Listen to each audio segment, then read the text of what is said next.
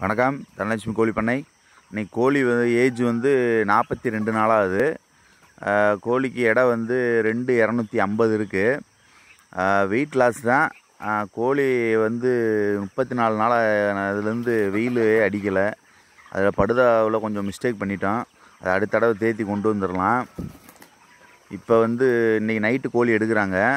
சேவை ஒரு ரெண்டு அறநூறு ரெண்டு எழுநூறு இருக்குது போட்டால் ரெண்டு கிலோ ரெண்டு ஐம்பது ரெண்டு நூறு அந்த கணக்கு இருக்குது டோட்டல் ஆவரேஜ் வந்து ரெண்டு இரநூத்தி ஐம்பது இருக்குது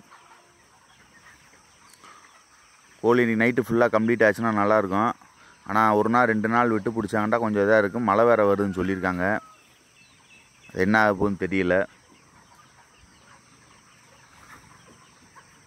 ஃபீடு நல்லா சாப்பிடுது நிறையா சாப்பிடுது ஃபீடு வெயிட்டு தான் கம்மியாக ஏறுது ஒரு நாளைக்கு நூறு கிராம் ஏறணும்னு சொன்னாங்க. ஆனால் ஏறுறது வந்து ஐம்பது கிராம் அறுபது கிராம் தான் வெயிட்டே ஏறுது.